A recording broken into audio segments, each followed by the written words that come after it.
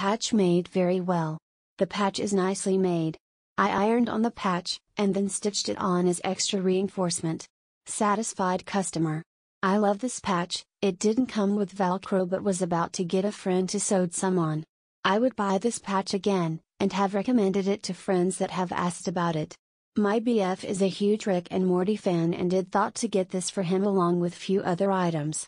I didn't use Prime yet it got to me super fast and the fabric is durable. Can't wait to surprise him with this for his birthday. I got this for my daughter and she loved it. Good quality patch. Does not have velcro on back. Exactly what it says it is. Looks great. Love this patch. Bought it to put it on my new Yeti hopper.